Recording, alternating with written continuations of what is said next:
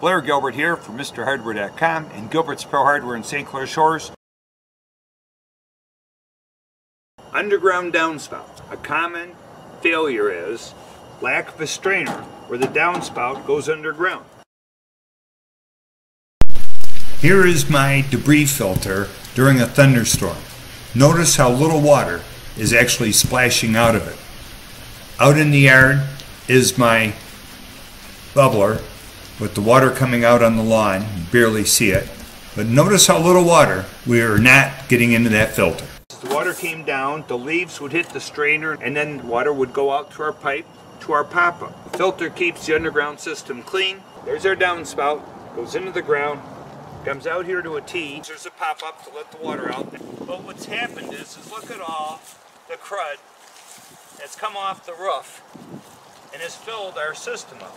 Fill the pipe, clog the drain at the end, and prevent the water from coming out the pop-up or it'll clog enough that to force the rainwater will pop our cover off and then the next lawnmower guy. So, the filter and a pop-up make for a good long-term underground downspout system. Quick tip from MrHardware.com.